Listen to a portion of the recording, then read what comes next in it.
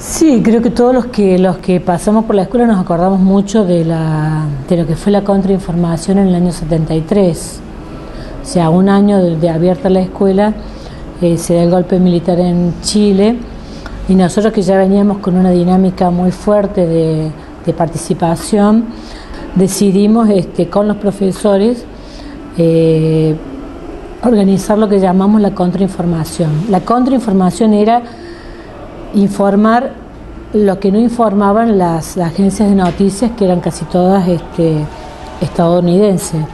O sea, nosotros, este, en vez de informar a través de los cables de UPI, de AP, de Reuters, de ANSA, alemana, teníamos en cuenta la información de prensa latina y decíamos nosotros, no sé si era cierto o no, y lo repetíamos, que de los radioaficionados que pasaban información.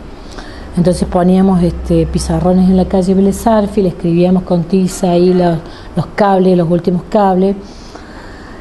Pedíamos a los automovilistas que estaban en la Vélez pedíamos con, unos bolsitos que improvisados, yo me acuerdo que tenía un bolsito de gym, este, pedíamos dinero para la, para la resistencia, que la íbamos a mandar a Chile.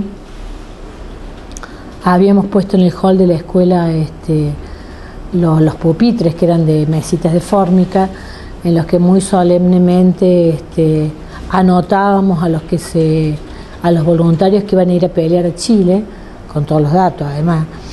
Eh, bueno, una cosa entre ingenua y, medio naif era todo, ¿no?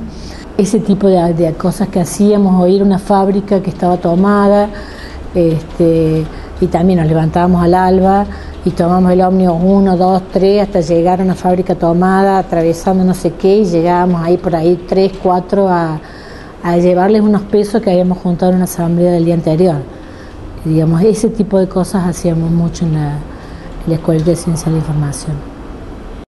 Entonces decidí que me, iba a ser periodista para viajar por el mundo. Ese era mi, único objetivo a los 17 años cuando me anoté en, la ESI.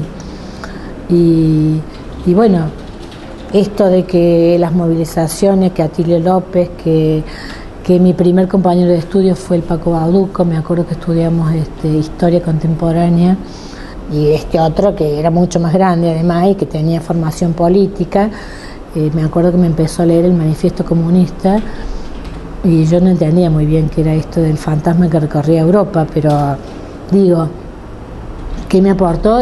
Creo que me cambiaron, me cambió la cabeza. O sea, yo venía por una cosa y salí por otra. Eso fue lo que, lo que me pasó. Creo que de alguna manera todos los que pasamos por esta escuelita eh, nunca volvimos a ser los mismos.